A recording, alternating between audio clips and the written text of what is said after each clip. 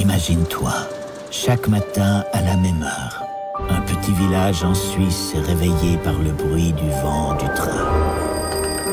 Un train qui te donne le sentiment que la vie passe si vite, que tu es incapable de la suivre, jusqu'au moment où tu réalises que quelqu'un t'attend chaque jour.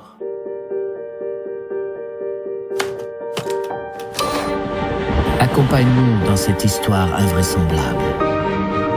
Cette histoire d'une femme qui tombe amoureuse d'un homme qu'elle n'a jamais vu. Combien de temps tu peux suivre un rêve? Jusqu'au moment où tu te réveilles Où est le TGV Excusez-moi. Où est le TGV